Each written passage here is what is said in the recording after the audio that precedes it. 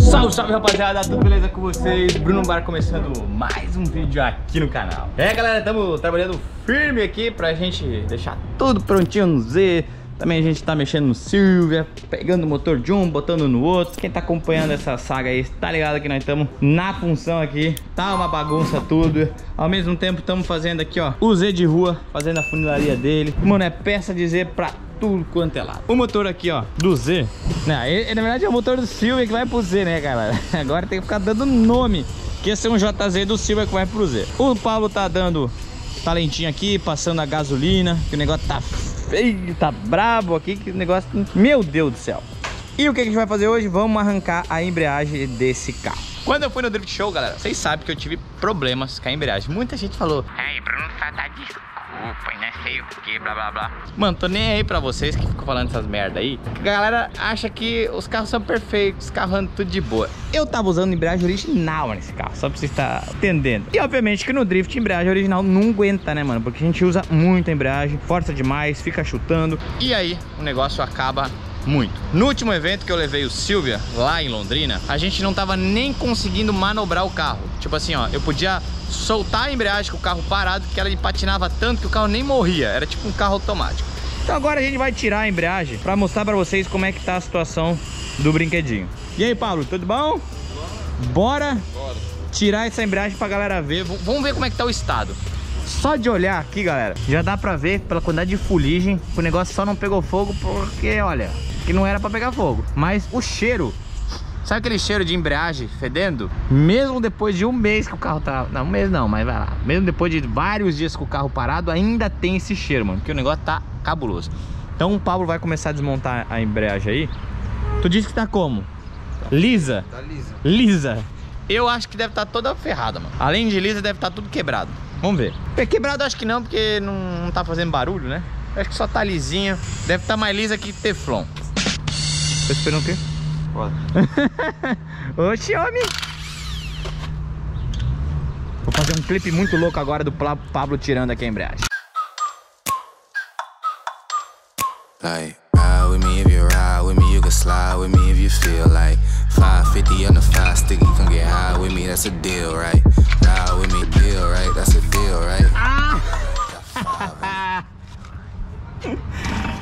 Cara, olha isso aqui, mano. Era uma vez uma embreagem. Era.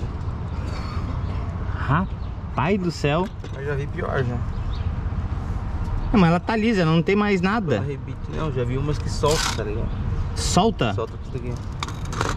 Galera, aqui era pra ter. Tá vendo esse. Cada quadradinho desse aqui é uma pastilhazinha que tem, né? Então, aqui existe uma pastilha que ela tem um material que tem bastante fricção. E. Bem, acabou, não tem mais pastilha. Olha só que coisa linda. Até aqui que não tá tão ruim, né? Eu achei que ia tá pior aqui, mano. Aqui achei que aqui tá tudo é, zoado. Que tá afundado. É, mas ó, só deu uma azuladinha aqui em algumas partes. Também bem de boa o volante. Tá tranquilo aqui, acho que a gente vai conseguir recuperar bem tranquilo. E a ideia, meu, cara, o cheiro é... Parece que a gente acabou de, cara, de dar um borrachão cabuloso que fica só aquele cheiro de embreagem. Agora a ideia o que que é, mano? A gente vai é, mandar essa embreagem lá para Ceramic Power, eles vão fazer uma embreagem nova para nós. Tinha a opção, deixa eu lavar a mão aqui primeiro, né? Porque tinha a opção da gente fazer é, dupla embreagem, mas eu acabei optando por fazer uma embreagem simples. Por que isso, galera? Por que botar uma embreagem simples? Eu acredito que o produto deles seja tão bom que não necessita de uma embreagem multidisco para fazer drift num carro que não é tão forte. Porque querendo ou não, o investimento de uma embreagem é mais simples é muito menor. Então, para quem está começando a fazer drift, quem está com um carro mais fraquinho, 200, 300 cavalos, não precisa botar uma multidisco, mano. E eu quero provar isso com um produto da Ceramic Power no Silvers 15 e a gente vai fazer esse teste. Pode ser que eu esteja falando uma grande merda, né? Mas pela minha tocada, pelo produto dele ser um produto de excelente qualidade, eu tô muito certo disso, mano. Seria melhor botar uma multidisco? Seria. Só queria demorar um pouco mais e eu acho que pro projeto não precisa. A gente precisa montar alguma coisa que faça sentido, que tenha um custo-benefício também interessante para quem for montar um projeto novo aí, não precisar ficar forçado a comprar uma multidisco. Obviamente, num carro como esse, que a gente tava rodando com 600 cavalos, carro de competição, tudo mais, cara, não tem por que a gente não colocar um multidisco. É o certo, porque é a embreagem mais top que eles têm. Vocês vêem que aguentou pancada pra caramba, mano. Já tava com os negócios tudo azulado lá praticamente. E ela tava funcionando perfeita, não sentia nenhum sintoma. Aqui, como vai ser um carro mais de apresentação, um carro mais de show, um carro que eu não vou competir, vamos botar uma embreagemzinha normalzita. É normal entre aspas, né? Mas embreagem de cerâmica. Só não vai ser multidisco e vai dar certo. Agora, Pablo, o que, que nós vamos fazer aqui? Vamos dar aquela limpada? Começar a passar a gasolina. Mano, eu quero ver se é um brinco, hein? Ah... Então é isso aí, galera. O Pablo vai continuar trabalhando aqui. Daqui a pouquinho já vou mostrar como é que ficou o motor. Aí, já arranjei um negocinho pra brincar. Pessoal, como eu falei, a gente não quer abrir nada aqui no motor. Até porque, por exemplo, se a gente pode tirar a, aqui a, a tampa de válvula, tá tudo bonitinho, não tá vazando nada, tá tudo filé. Vai que eu tiro e essa porcaria começa a vazar depois. Mano, não quero passar esse risco, não quero passar essa dor de cabeça, então a gente vai deixar o que tá no lugar. A gente vai dar uma limpada agora com a escovinha. Cara, eu adoro fazer isso. É muito divertido, olha só. É muito satisfatório. Opa! Tem que fazer com as duas mãos, né, bonitão? É muito satisfatório, eu gosto demais. Então, vou dar um taletinho aqui na tampa de válvula e bora trabalhar que eu adoro me divertir. Numbers on my phone, they keep calling me. Girlies at my shows, why they all on me? I don't want them no, get them all off me. Aí como é que ficou, molecada? Cromado, mano. Nossa senhora. Não, mentira. É alumínio, né? A tampa de válvula. Então, ainda tem uns negocinhos aqui, ó. Que isso aqui, cara, não tem como sair. Você teria que usar um produto químico muito forte. Mas eu ainda vou dar uma lixada na mão para dar uma melhorada ainda nessa aparência, pelo menos para ficar mais lisinha. Agora o que, que eu vou fazer? Eu vou limpar. Que isso? Ah.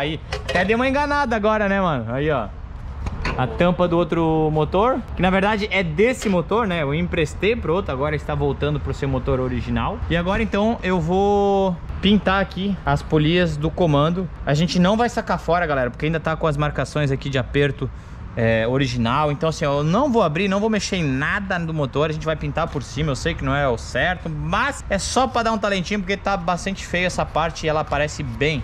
Então para pelo menos dar uma, uma enganada, digamos assim, só vou dar uma pintadinha assim pra ficar bonitinho.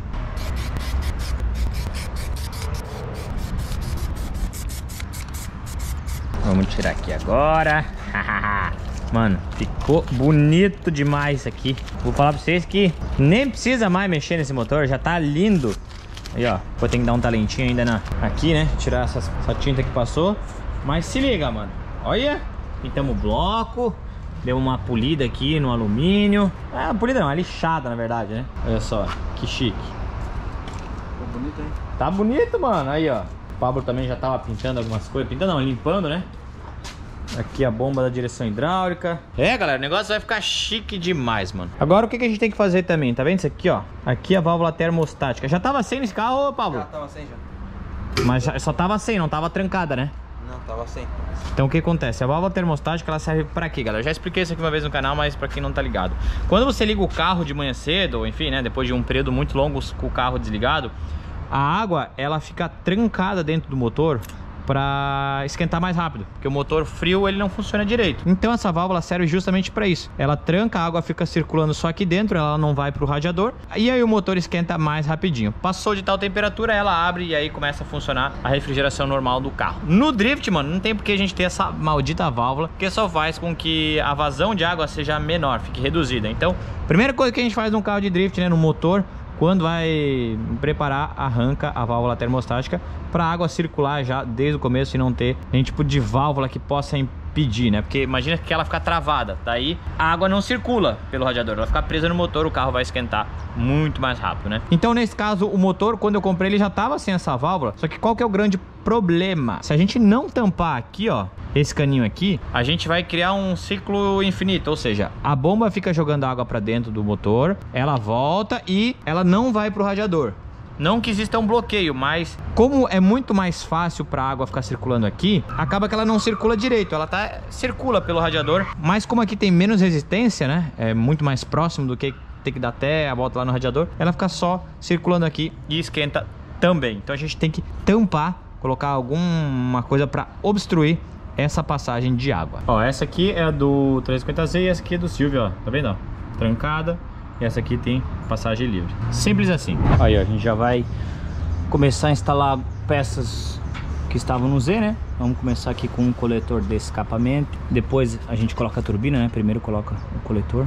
Agora que eu vi que quase que, que eu derrubei o coletor. que tava sem parafuso.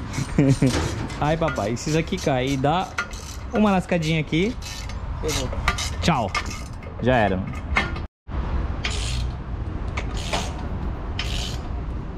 mano. Não parece o mesmo motor, hein? Falar pra vocês. Quando ele saiu ali do Silvia, tava sujinho, mano. Eita vida, tá ficando muito bonito. Ah, uma outra coisa que eu quero falar pra vocês, pessoal, são os bicos que a gente tá utilizando nesse carro. Até vou pegar aqui a flauta pra levar aqui na bancada falar pra vocês. Porque quando eu comprei esses bicos, eles eram novidade. E aí eu não podia falar. Teve gente aí que falou um monte de coisa, mano. Deixa eu ver se eu acho a caixinha deles. Como eles não tinham lançado ainda os bicos, a gente estava meio que fazendo testes com ele. É, e agora os bicos já estão todos homologados, tudo certinho, bonitinho, já está à venda. Esses são bicos da RS Performance. Eles são bicos fabricados pela Bosch, né? Vocês podem ver aqui, ó.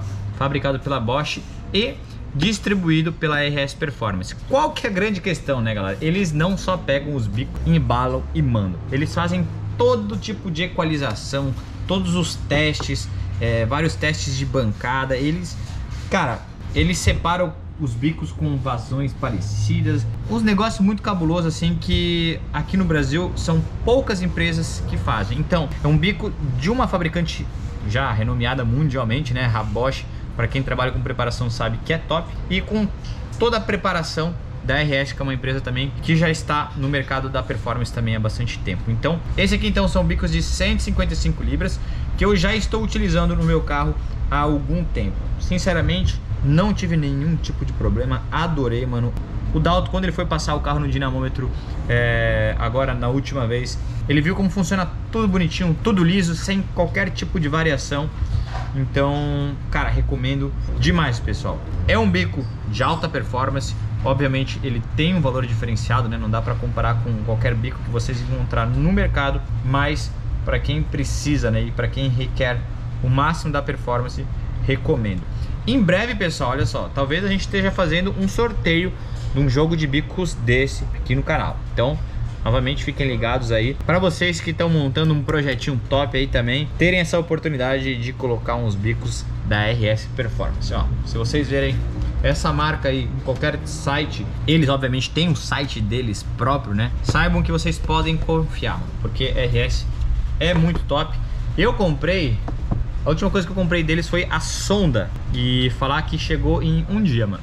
Sério, é muito rápido o envio, então para quem, né, tá mexendo com o carro aí, é importante porque todo mundo sabe, como negócio, meu Deus do céu. Um dia antes do campeonato, do evento, da zica. E aí tem que recorrer a uma empresa eficiente e a ES é essa empresa.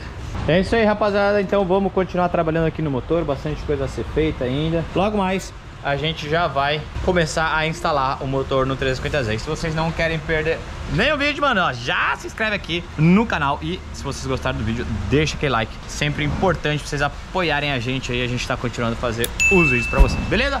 Então é isso, galera. Tamo junto, é nóis e fui!